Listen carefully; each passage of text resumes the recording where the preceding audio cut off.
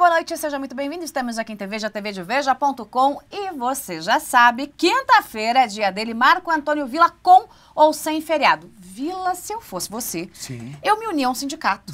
Iria fazer greve. Como assim trabalhar no feriado, É Vila? Isso é incrível. coisa de coxinha, elite branca, não pode. É, tudo ótimo, tudo ótimo. É feriado, é fim, fim, de, fim de semana prolongado, é tudo, é, é O inacreditável. que, que você mas- está fazendo aqui que você não está na praia, né? Tomando lá o É, tô seu puxando até, tô chopinho, meio né? branco e tal. Mas aqui no fim, a gente é um pouco viciado em trabalho, eu gosto de trabalho e das discussões que são sempre muito legais. É, Mas eu não gosto de trabalhar, você sabe, né? Eu sei. É, eu, eu, eu acho que chega, dá um meio expediente de 15 minutos. É, eu vou embora. vai Acho que é uma coisa chata essa coisa de trabalhar, né, gente?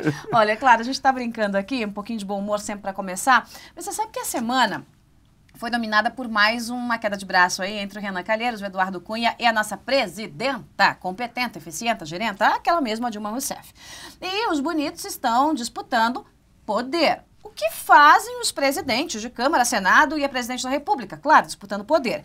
E agora, é, o, o frisson do momento, né, o zum, zum, zum, é sobre a indicação de cargos para as estatais. Enfim, quem tem que indicar, passa pela sabatina, não passa pela sabatina. E a Dilma correu essa semana e falou assim, isso é prerrogativa do Executivo.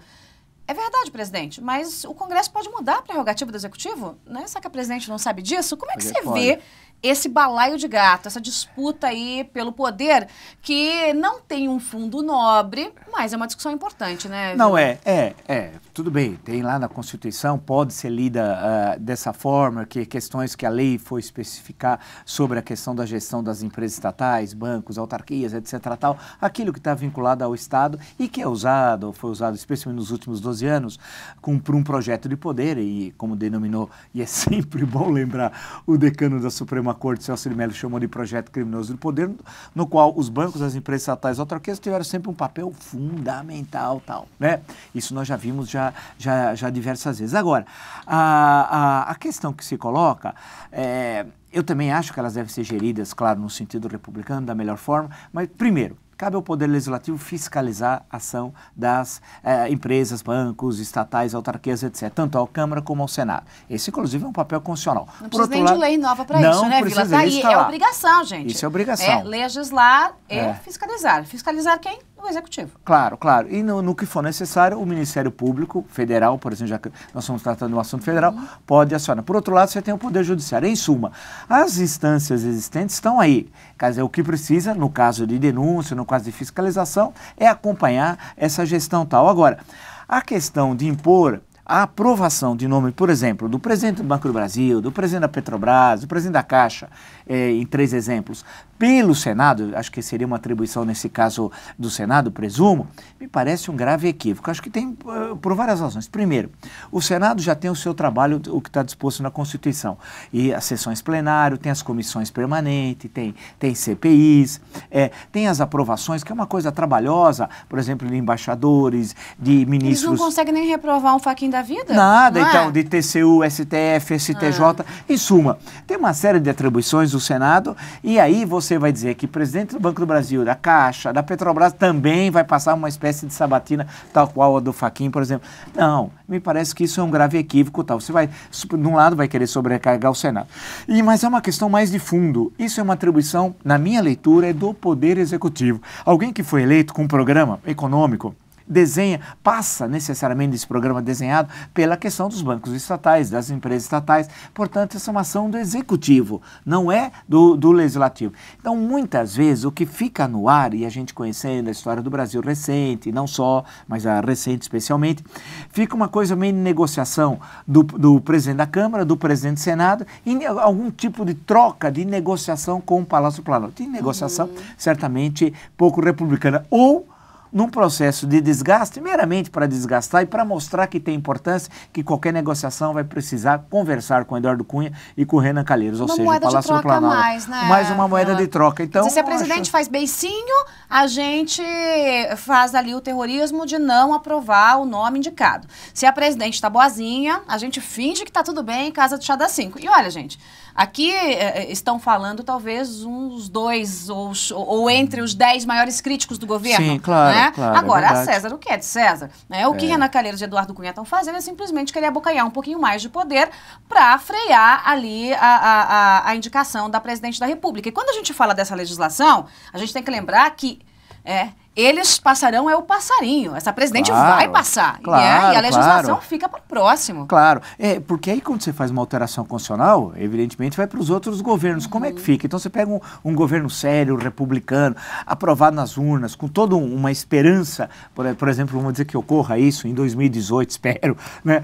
Aí você não, tem o seu programa eleito pela maioria, geralmente em segundo turno, pela maioria absoluta dos eleitores, etc. Tal, você começa a governar, mas antes você começa seu governo, mas não começa, porque você tem de indicar o nome do presidente do Banco do Brasil, por exemplo, da Caixa, do, da Petrobras, os três exemplos que eu citei anteriormente. Então você já começa não começando, porque primeiro precisa passar por toda essa aprovação, tem negociação, tem isso, tem aquilo. É um equívoco, isso não tem nada a ver, isso é uma, é uma bobagem, me parece que é uma bobagem, é, e também é uma confusão entre parlamentarismo e presidencialismo. No sistema presidencial, você tem a autoridade que é do presidente da República. E nós vivemos num regime presidencialista. O parlamentarismo, vale lembrar, e lembrando da questão histórica, ele já passou por dois, dois plebiscitos, se preferirem, referendo. Eu sei que essa é uma, é uma discussão eh, se fica plebiscito ou referendo, mas porém vamos lembrar como é que ficou conhecido, ao menos popularmente, em janeiro de. dia 6 de janeiro de 1963. Puxa vida, foi uma vitória cachapante do presidencialismo, cerca de, de 80% a 20%, ou aproximadamente isso tal. Claro que tem uma série de razões políticas da época, mas não vou externá-las aqui.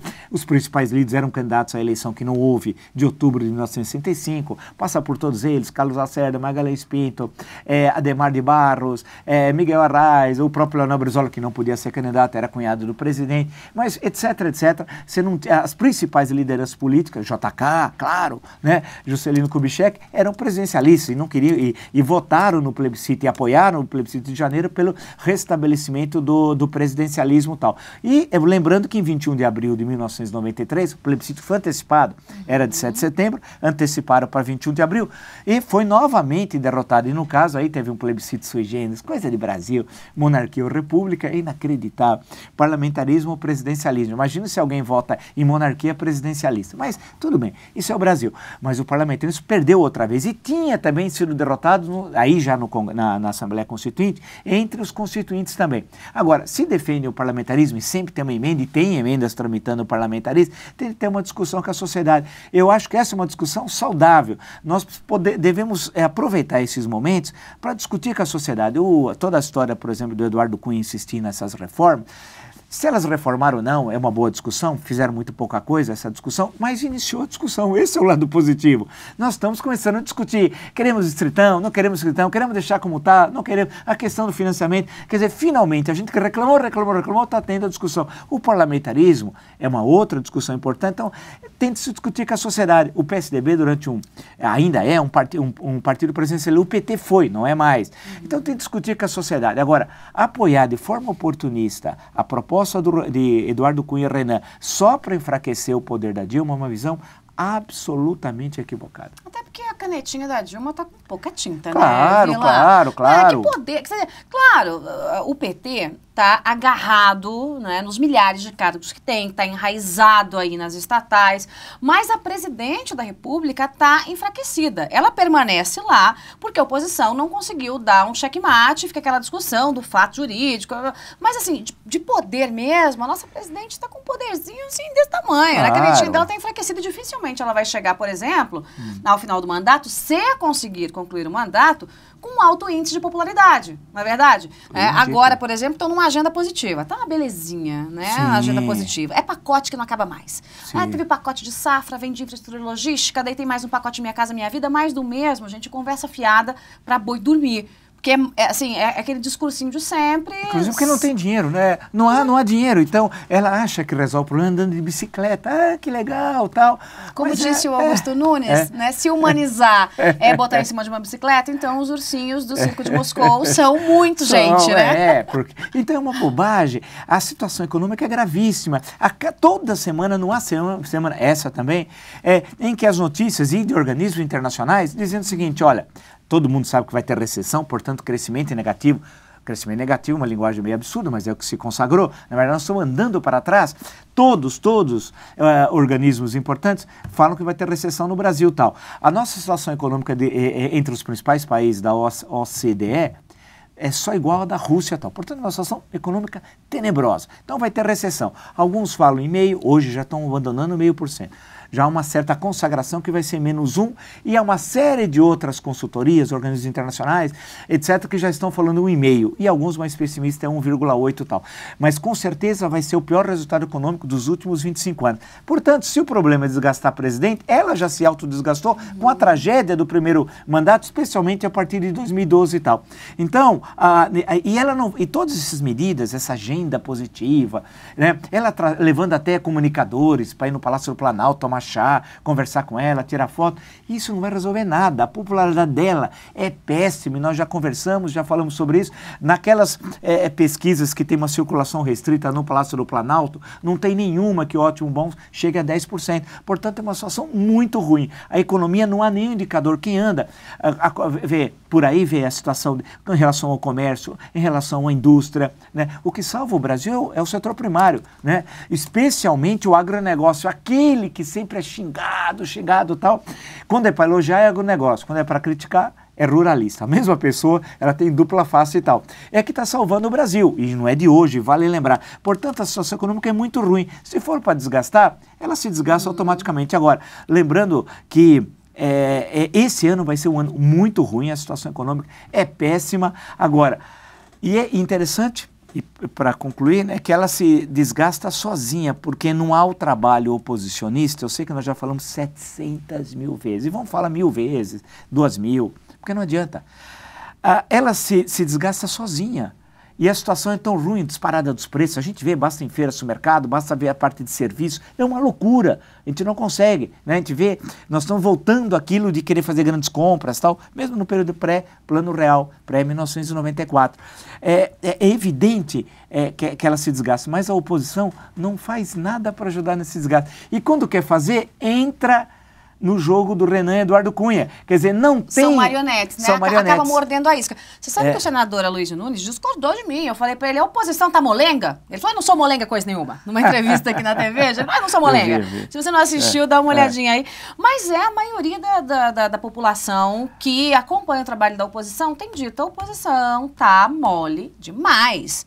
Né? Tem gente é. que diz que a oposição tá banana, que a oposição Sim. não está fazendo papel de oposição. E o eleitor e a própria oposição não pode Sim. esquecer que quando elegeu um governo também elegeu uma oposição. Claro, né? claro, com 51 milhões e meio de votos e tal. E, ela apareceu um pouco março, meados de abril, falando, agora vai, porque a gente. Parece aquele carro antigamente que precisava empurrar para pegar e tal. Falou, agora vai pegar. E tem uma, a gente estava vendo uma descida lá na frente, que aí o carro pegava de qualquer jeito.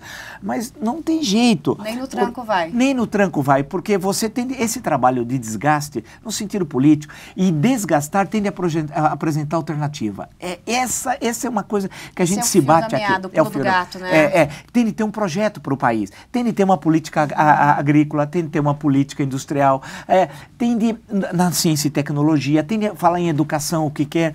Puxa, e tem quadros e não falta dinheiro de fundo partidário, institutos de pesquisa que, que os partidos têm, então, então o, falta eles gostam muito de usar uma expressão nos últimos tempos, qualificar o debate político. Tá, qualifica o debate, qualifica com ideias e cabe à oposição apresentar essas ideias. E ela não faz. Então é curioso que a partir, nós tivemos episódios lá de 15 de março, 12 de abril, a, a, a, a partir dali há um, uma espécie de silenciamento, entra no mês de maio, o mês das noivas e tal, foi passando ali, a, a, a, coisa foi, parou, parou, houve uma estagnação do trabalho da oposição, você começa a perguntar onde eles estão. a oposição se sentiu noivo abandonado no altar, no altar. depois que perdeu a eleição, viu? É, aí né? entrou Fez mês, beicinho agora. É, e entrou o mês de junho e tal, e é curioso, porque tudo é pretexto. Tá? Mês de, de junho tem quadrilha, tá, gente? É. Atenção, quadrilha, governo, PT, é. atenção, né? e lembrar que tem para o Nordeste especialmente é o Natal, né? Uhum. É o período das festas de junho. Então, a partir de 10, 13 que é Santo Antônio, acabou. O quórum vai ser muito difícil de ser obtido. Uhum. Né? Por, quando chegar no São João, então vai estar uma festa dos diabos. E a impressão Não que. fala a festa dos diabos. Você vai apanhar da população, hein? A população de São João, né? É. São aí, João. Não, é. Lembrando que vai tá, a coisa vai estar tá animada. Aí vem julho, parou tudo. Aí é o é recesso. Verdade. Aí só vem agosto. Pô, não dá. Então precisa de um trabalho. A oposição não consegue se construir. E basta ter três deputados federais, não precisa ter muito, quatro, que vai todo dia lá. Basta ter três, claro. quatro senadores e tal. E apresentar, ganhar espaço, falar, ir aos locais, apresentar denúncias, exercer o trabalho constitucional de fiscalização. Então, essa tentativa de agenda positiva da Dilma vai fracassar não por ação oposicionista, vai fracassar porque o governo é tão incapaz, tão incompetente e vive uma situação econômica tão grave que por si só vai fracassar tudo, Minha Casa Minha Vida, os projetos e tal. Isso é tudo conversa fiada. Agora, é, caberia sim uma ação oposicionista, independente, porque o que nós temos hoje no jogo político nesse primeiro semestre é Renan e Eduardo Cunha de um lado, Dilma do outro. É Palácio do Plantal. A oposição. Para fechar, Vila, a gente sabe, a gente vai, já vai para o segundo bloco, tá, gente? Para a gente fechar o primeiro aqui. É, nessa queda de braço, Renan Calheiros, Eduardo Cunha e Dilma, a gente já sabe quem vai vencer, né? Sim. É o que vai acontecer. Mesmo, mesmo sendo ruim pra, pra, pra, pra, para o presidencialismo, sim, sim. ruim para o Brasil, pelo menos num raciocínio cartesiano, nem político, política não é matemática, tudo pode acontecer. Claro. Mas no primeiro momento, me parece de fato ruim que só para que se tenha mais poder, os presidentes da Câmara e do Senado tirem essa prerrogativa do Executivo, ainda que possam fazê-lo por lei. Sim. Mas a gente sabe que nessa queda de braço, se os dois de fato quiserem enfrentar o governo, a Dilma já está derrotada, né? É, porque, ó, num lado, na Câmara, ela sabe que a, a tal base governamental está absolutamente fragmentada desde o dia 1 de fevereiro, quando a eleição uhum. de Eduardo Cunha. Quer dizer, o PT que construiu isso também. Claro. A candidatura Arlindo Quinalha, tá tudo aquilo. Plantou, né? É, então. É. E no Senado, aquela base também que tinha, invencível, não tem mais hoje. Claro que a situação no governo é um pouco mais favorável no Senado do que na Câmara. Portanto, é, ela fica meio a, a, a, aprisionada no momento, a, Dilma e o, e o governo, né? Pela dupla é, Renan Eduardo Cunha tal. Agora, e o país está parado também, não acontece nada, né? Uhum. E, e, é interessante lembrar que é o seguinte, que a política do governo é tão ruim que ela a, tenta ajustar a economia de tal forma, mas não consegue o governo projetar o futuro também. Uhum. Quer dizer, o governo está fazendo com que o hoje vai ser o amanhã. Você, em, em, situações como essa, você faz o ajuste, que é custoso, etc. Tal, mas projetos de amanhã, os teus cortes não são lineares. Você deixa espaço para educação, ciência e tecnologia, uma parte para infraestrutura e corta de outras áreas. Uhum. Não, o governo geralmente faz um corte linear e, o, e, e aí você não consegue construir o futuro. Por outro lado, a oposição fica de braços cruzados, tentando já discutir quem vai ser candidato em 2018. Isso que é pressa. E enquanto isso, quem faz o jogo político mesmo é o PMDB. Aquele que no começo do ano não era nada, percorreu, está percorrendo todo esse semestre e se transformando efetivamente num é. partido político. Bom, o PSDB que durma em serviço para ver se Eduardo Cunha não acaba sendo candidato né, é, à presidência deixar, da República. Se, se deixar, deixar né? É Muito bem. Eu queria falar de uma nova moda, Vila. Você anda Manda. faltando aí nos nossos né, comentários para moda, mas a nova é. moda é vaiar o PT. É um atrás do outro, né? É. Então a gente volta daqui a pouquinho porque o ex-presidente Lula foi vaiado, gente, essa semana, e antes dele Haddad, e Manteiga, e outros hum. tantos petistas, e Dilma. Mas que moda é essa? A gente volta já. Música